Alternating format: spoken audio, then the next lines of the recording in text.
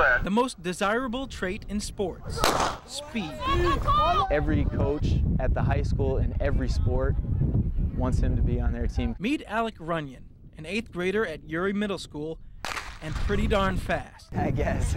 Alec's been turning heads in Walkerton because he can run 400 meters in less than 52 seconds.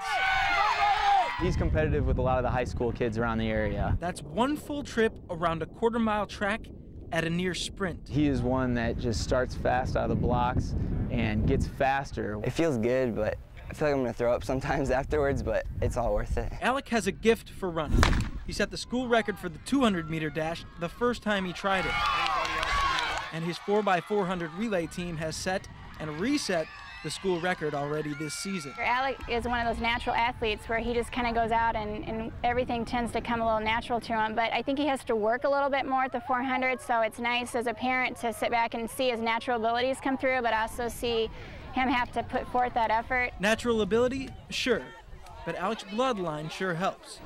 His older brother, Luke, consistently wins the mile run in high school, and he's only a few seconds off the record. It's fun. He usually beats me, though in longer distance, but I can beat him in most shorter distance sometimes. in the 100 and 200, I think he's got me, but 400 would be pretty good. 800, I'd get him. 16, I'd get him.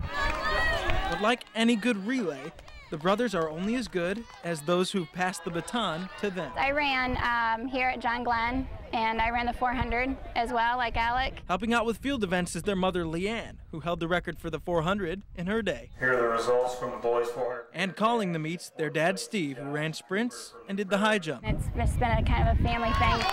A family of rockets and records. One fast family. If you want to be a good runner, you have to get up every morning and train for it. It's just something you have to love to do. Marcus Wekenmann, News Center 16.